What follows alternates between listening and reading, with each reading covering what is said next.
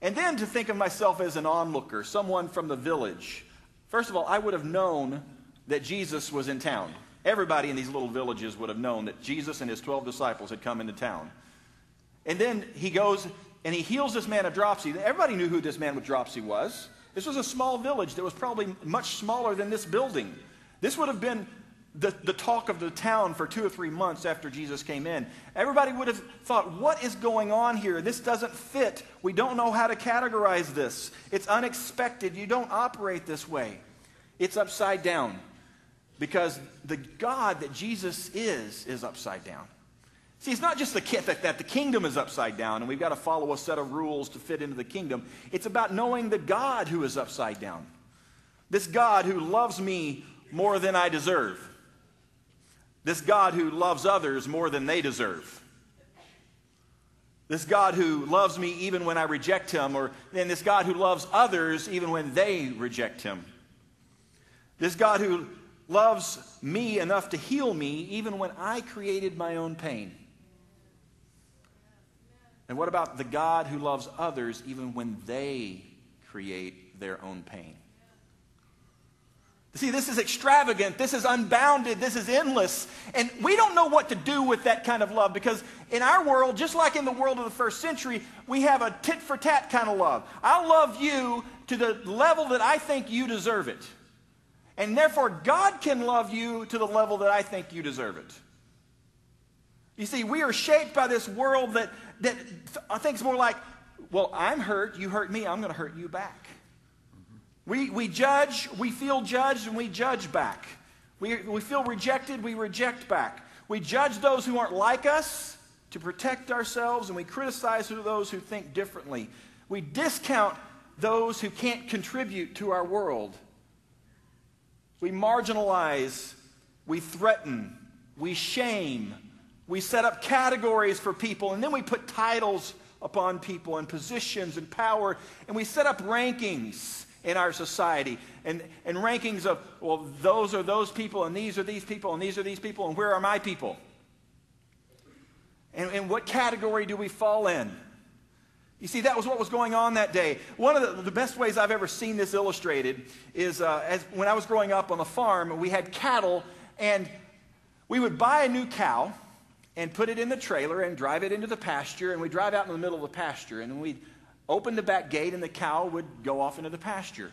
And within 30 seconds to a minute, there could be 50 cattle in the field, and they would somehow assess the new cow and say, huh, that cow ranks about 22.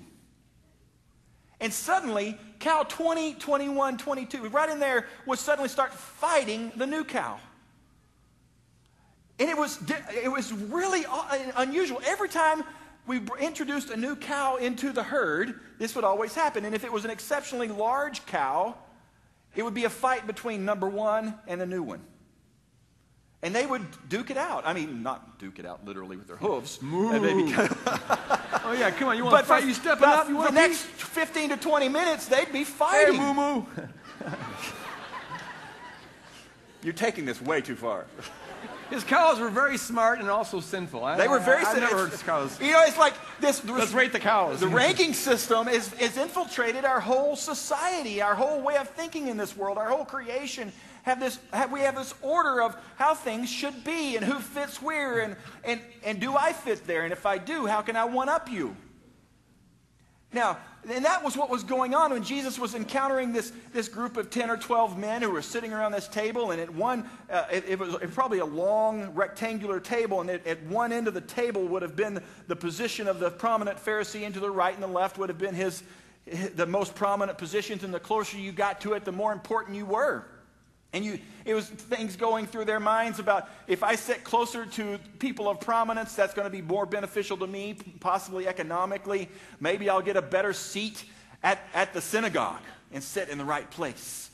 Maybe I'll get more respect and I can actually teach in the synagogue, or I can do this, or I can do that. This is, this is something that was just going on through that. And as I inserted myself into this story, I realized that I identify a little bit too much with the guests of that day. that Jesus could probably be speaking this parable to me. And that I too often enter into a room and I think, huh, who are the most eh, prominent people in the room? I'll go to Chili's and with a group of people and think, where do I need to position myself at this table to be closest to the funniest person here so I can act like I'm having the most fun? Or I'll enter into a party with a, a bigger group of people and I'll sit, look and say, is there anyone that's semi famous around here? And think, well, if I act like I know him better or someone like him, that I'm going to. Big mistake, dude. uh, that I'm going to have more prominence in other people's eyes. And we even do this even with bigger, uh, uh, more famous people. And we'll say, Well, I was in New York on vacation and I saw Donald Trump across the street. Well, who cares? With his toupee. With his toupee. I mean, it's like we see somebody famous and we like, we saw Justin Morneau. I'm like, well, who cares? He struck out three times last week. you know, what difference does it make? But we do this because we, have, we, we, were, we, we were conditioned, we were shaped by the habits of our culture that says if you are in positions of prominence, if you're in the right group, if you know the right people, then you are going to fit in better. You're going to have more power. You're going to have more authority. It's kind of like walking out into your high school or junior high uh, cafeteria and saying, which one of those tables is my table? And you know, you remember how, how it went. There were tables of prominence and authority and people who were popular, and then there were other tables that were less than popular. And then there were tables where people were marginalized. And then there were places where people did, who didn't have anybody set. All of this was going on, and this goes on in our, in our, in our minds, and, and, we're shaped by these habits. We're shaped by this, this uh, way that we think is actually right side up. We think this is, this is the way the world should be, and this is the way we think God should work. That's what these men were thinking that, that, that, Jesus was going to operate according to a certain set of rules, and he was going to fit into their rules. But Jesus doesn't fit into our rules.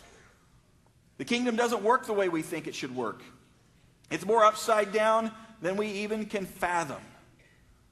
And if we're going to understand how upside down this kingdom is, and up, how upside down this God is, we have to develop upside down habits. We have to develop habits that are going to help us see how upside down the world really is. Because we are conditioned to think things a certain way, and we have to recondition our eyes and ears to see and hear what God is doing in this world. And this is the reason we do these adventures that are concentrated uh, times when we focus on a theme and we, we get repetitive and we, we hit hard on a, a specific theme to help chip away at how we've been conditioned and shaped. And during this time, we'll have short term groups, and I hope you will participate in a short term group. If you're not a part of one, please come to the hub and, and check one out, and, or you can go home and check out online. We also have ways for you to develop new habits personally, to get into the scriptures and to pray in a different way. And this is the reason we have uh, developed this uh, prayer journal, which we have available at the hub. And in this prayer journal are places like to take sermon notes. And here's a question. It, you know, it's one thing to take sermon notes and go, wow, don't we have a great preacher? My preacher's better than your preacher. I go to Greg Boyd's church. And I, who cares? You're just gushing this morning. Who, you know, but I say, who cares? Yeah, yeah. Good. oh, yeah? I care. What really matters is the question that's down here is what do you sense God saying to you through this sermon? Because if you walk out of here and go, wow, that was awesome, I was really moved, but what is God saying to you? What's going on in your life right now? What's going on? What's God moving in your heart about? And then we have a place for you to journal, and there's some questions in here for you to reflect and think about the themes that we are, are focusing on each week. And then we have five days of praying the scriptures. You might think, well, I don't know how to pray very well. Well, here's a process for you to listen to the scriptures and for you to pray through the scriptures. It's an old, old tradition that's, of using scriptures to guide prayer life. In addition, we are uh, doing something new this year, uh, or this with this adventure. We're going to be posting a blog on Monday through Friday on our website. And we'll be adding short insights uh, reflections uh, each um, on Mondays and Mondays through fr- uh, Mondays and Fridays through Friday to um, uh, to continue to help us think about this and get this in us so that we can see things, what the, you see God's upside down kingdom.